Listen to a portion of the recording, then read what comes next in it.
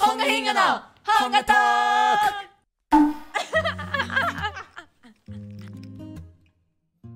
せーの。本がヒンガです。はい。はい。今回のお題ははけいちくん。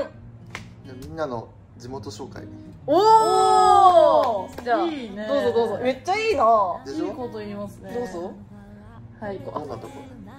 まあ、私の地元はですねあの、まあ、東京都の稲城市というところなんです東京だよ。ねなまあちょっとシティガールといいうことで。わいいなまあなんか名産が梨でしてうん。あと最近あの自転車のあ東京オリンピックの自転車のあの道になったからもうそれを聖地だよね。聖地だそう聖地になっちゃって矢野口がやってた。やってた。見た見た。世の口がやってた。あそう。そう。それであの私の働いてるカフェもねそれでなんか取り上げられたみたいで。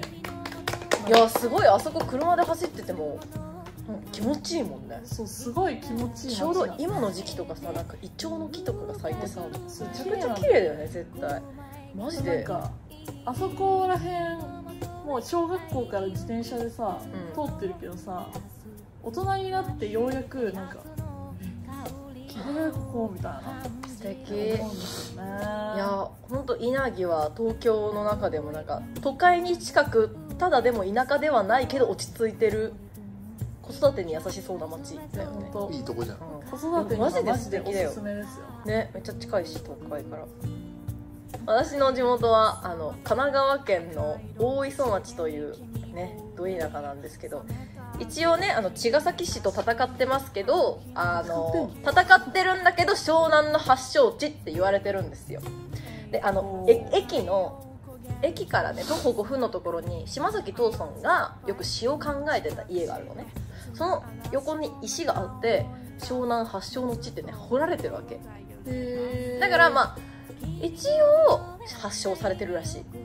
でねへまあでもめっちゃ田舎だから何にもないんだけど本当に何にもない。カラオケもないしないんだけど何にも。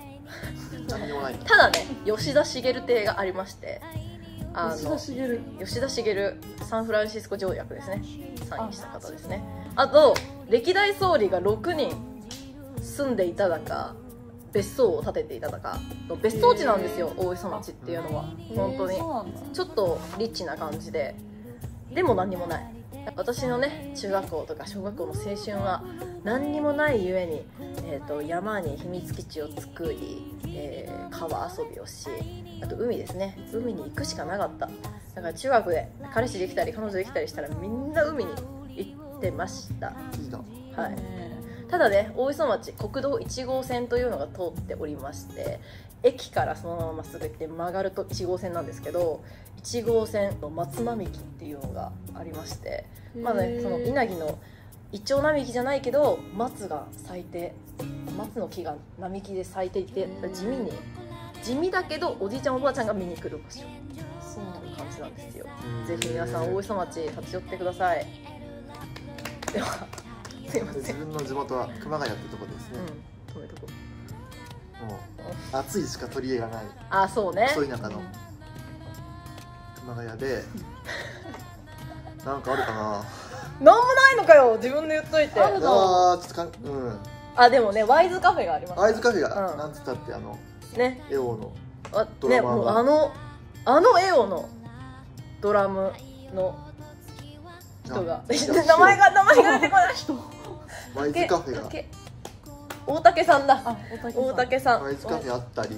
そう大竹さんが経営してるんです、そうでうん。原口元気がいたり。誰原口 サッカー日本代表。知らないんだけど。あごめんなさい。ごめんなさい。へ出身だったり。えまあ熊谷はでかいよなんねかサッカーすごそうな感じあラグビーがが今なんかしてるああそう。なんだ。ラグビー。へえです。では皆さん熊谷市と熊谷市。に大磯町と稲城市にぜひ立ち寄ってください。うどんが美味しいです。うどんか。へー食べた食べたい。でも熊